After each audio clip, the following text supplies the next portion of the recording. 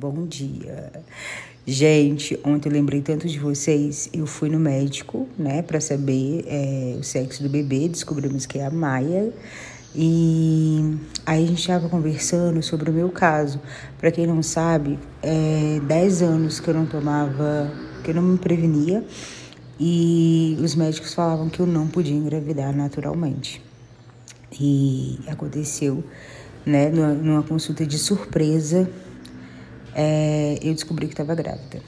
E aí, enfim, ele falou, Lid, você tomou algum tipo de é, indutor, essas coisas? Eu falei, não, não tomei nada, eu nem sabia. Eu estava no auge do jejum. Aí ele falou assim, ah, tá aí. Provavelmente o jejum intermitente tem uma grande influência sobre isso, porque você desinflamou o corpo. E, lógico, um milagre também, né?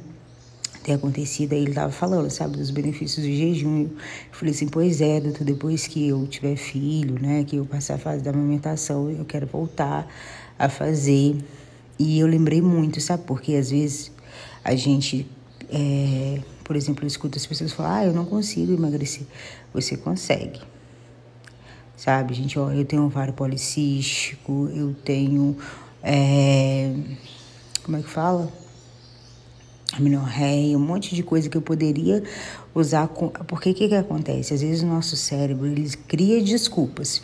Ah, não, para mim é mais difícil emagrecer porque eu tenho ovário policístico. Não. Se você se apegar a isso, e eu estava nesse projeto, gente, de emagrecer, porque o ano que vem eu queria fazer a fertilização. E para fazer fertilização você precisa também emagrecer.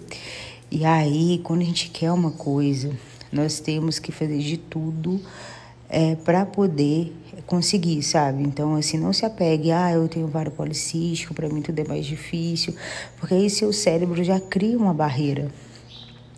E, e aí é isso, eu quis dividir com vocês.